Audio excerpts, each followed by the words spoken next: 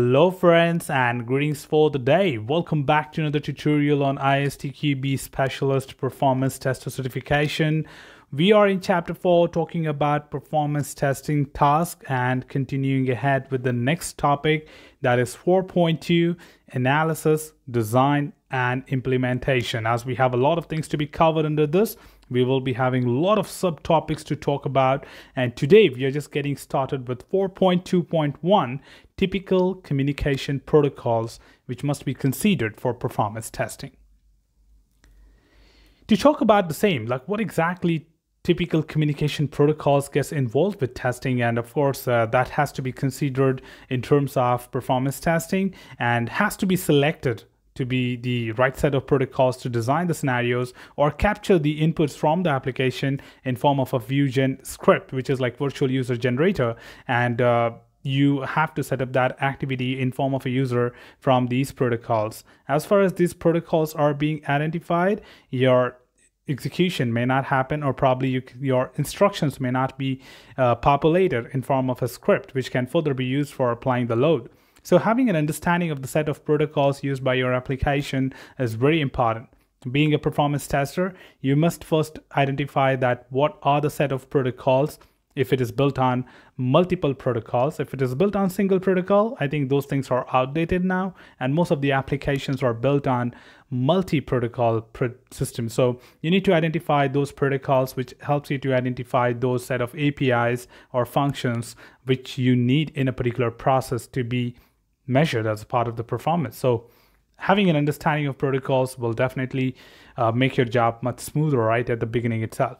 So here we are talking about the typical list of communication protocols which can be used and most of the tools support them. So communication protocols defines a set of communication rules between computers and the system.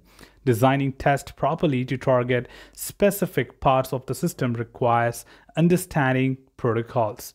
Communication protocols are often described by the Open System Interconnection, which is OSI model layers, where you can just refer them based on the ISO standard, which is being uh, mentioned here, that is 74981. Although some protocols may fall outside of this model as well. For performance testing, protocols from layer 5, that is session layer, to layer 7, that is application layer, are most commonly used for performance testing. So you need to really identify and work upon these layers on the multi-tier architecture to identify that what kind of protocols are used at these specific layers. Common protocols generally include from the database point of view, we do have ODBC, JDBC, and other vendor-specific protocols.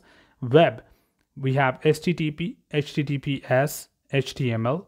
Web service, we have SOAP and REST. I think we we all being, you know, when you're listening to this tutorial, I do understand that you have been into performance testing for a while, and you do understand that these protocols are supported by the latest technology tools for the performance testing like LoadRunner, Silk Performer, or JMeter. So no matter whatever you're trying to use, you do have support of these fundamental protocols to be there before you get started with preparing your script.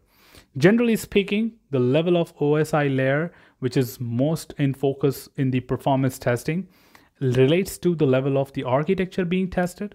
When testing some low-level embedded architecture, for example, the lower number of layers of the OSI model will be mostly in focus. So again, here we are talking about the lower levels, that is layer 1 to few, uh, 1 to 4, and so on. And there we have additional protocols used for performance testing to add it up with the existing, calling it as a multi-protocol system. So here we have further classification, like from network point of view, we have DNS, FTP, IMAP, LDAP, POP3, SMTP, Windows socket, and CORBA. From mobile point of view, we do have TruClient, SMP, and MMS because these are the things which we, we generally need for mobile application performance testing. Remote access, we do have Citrix ICA and RTE, which will definitely help you to do those uh, remote testing on the RDP kind of concepts. And SOA, which we have MQ series, JSON, and WSCL. So as you see that these are just a limited typical list of the protocol. But of course, we do talk about a lot many other things like we have Ajax, we have Java, we have, uh, you know, or working with SAP, you do have Siebel, you have Stingray and a lot of many other things which you work with. So generally, when you look at a tool, you do understand that how you can really find them together. I may be tagging a quick description or quick list of a uh, tutorial in the description where I have a series of tutorial on performance testing. So if in case you're interested to understand more about the tool interfaces, you can quickly have a look on these tutorials, which gives you an idea that what set of protocols do we really have and how to make use of them.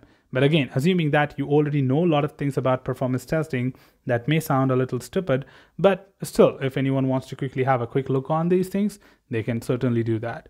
So that's all from this particular tutorial team. Going to get back to you with the next part of it, which is going to be into next section.